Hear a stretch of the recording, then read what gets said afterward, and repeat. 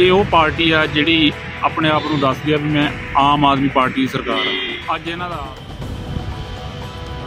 ਅੱਜ ਇਹਨਾਂ ਦਾ ਇੱਕ ਡੇਢ ਮਹੀਨੇ ਦੇ ਵਿੱਚ ਚੌਥਾ ਗੇੜਾ ਵਾਇਆ ਹੈਲੀਕਾਪਟਰ ਹੁਸ਼ਿਆਰਪੁਰ ਦਾ ਲੱਗ ਰਿਹਾ ਹੈ। ਪੰਜਾਬ ਸਰਕਾਰ ਦੇ ਖਜ਼ਾਨੇ ਦੀ ਲੁੱਟ ਖਸੁੱਟ ਕੀਤੀ ਜਾ ਰਹੀ ਹੈ, ਜਿਹੜੀ ਆਮ ਜਨਤਾ, ਆਮ ਪਬਲਿਕ ਦੇ ਟੈਕਸਾਂ ਦੇ ਨਾਲ ਭਰਿਆ ਜਾਂਦਾ ਹੈ।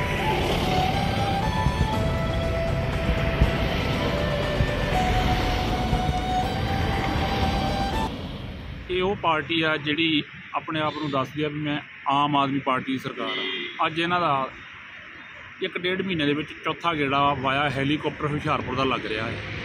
ਔਰ ਉਹ ਹੈਲੀਕਾਪਟਰ ਦਾ ਸਾਰਾ ਖਰਚਾ ਪੰਜਾਬ ਸਰਕਾਰ ਦੇ ਖਜ਼ਾਨੇ 'ਚੋਂ ਦਿੱਤਾ ਜਾ ਰਿਹਾ ਹੈ। ਸਾਰਾ ਪੰਜਾਬ ਸਰਕਾਰ ਦੇ ਖਜ਼ਾਨੇ ਦੀ ਲੁੱਟ ਖਸੁੱਟ ਕੀਤੀ ਜਾ ਰਹੀ ਹੈ, ਜਿਹੜੀ ਆਮ ਜਨਤਾ, ਆਮ ਪਬਲਿਕ ਦੇ ਟੈਕਸਾਂ ਦੇ ਨਾਲ ਭਰਿਆ ਜਾਂਦਾ ਹੈ।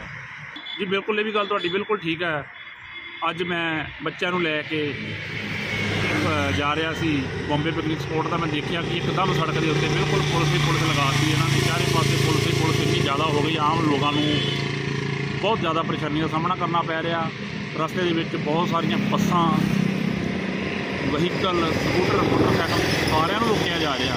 ਸਾਰਿਆਂ ਨੂੰ ਰੋਕ ਕੇ ਪਹਿਲਾਂ ਭਗਵੰਤ ਮਾਨ ਜੀ, ਜੋ ਕਿ ਮੁੱਖ ਮੰਤਰੀ ਪੰਜਾਬ ਅੱਜ ਆਪਣੇ ਗੁਰੂ ਦੇਵ ਅਰਵਿੰਦ ਕੇਜਰੀਵਾਲ ਨੂੰ ਸ਼ਾਇਦ ਮਿਲਣ ਇੱਥੇ ਆਏ ਨੇ, ਜਿੱਥੇ ਉਹ ਵਿਪਾਸਨਾ ਕੇਂਦਰ ਦੇ ਵਿੱਚ ਇਨਫੋਰਸਮੈਂਟ ਡਾਇਰੈਕਟਰ ਦੇ ਸਾਹਮਣਾ ਤੋਂ ਕਰਦੇ ਹੋਏ, ਲੁਕੇ ਹੋਏ ਹਨ, ਉਹਨਾਂ ਨੂੰ ਮਿਲਣ ਆਏ ਆ ਔਰ ਲੋਕਾਂ ਨੂੰ ਖਜਲਖਵਾਰੀ ਬਹੁਤ ਜ਼ਿਆਦਾ, ਬਹੁਤ ਵੱਡੇ ਪੱਧਰ ਤੇ ਹੋ ਰਹੀ ਹੈ।